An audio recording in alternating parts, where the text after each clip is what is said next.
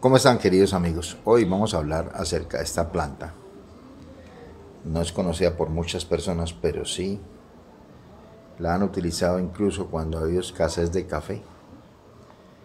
La han utilizado más que todo en Venezuela cuando ha escaseado no solamente el café, sino muchas cosas.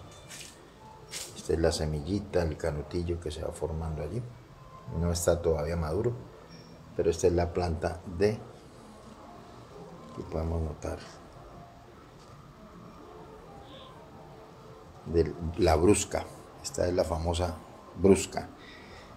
Las propiedades medicinales son excelentes. Ya les voy a decir de qué se trata, cómo esta semillita se utiliza en la medicina. Principalmente la semilla, ¿no? Aquí podemos ver la flor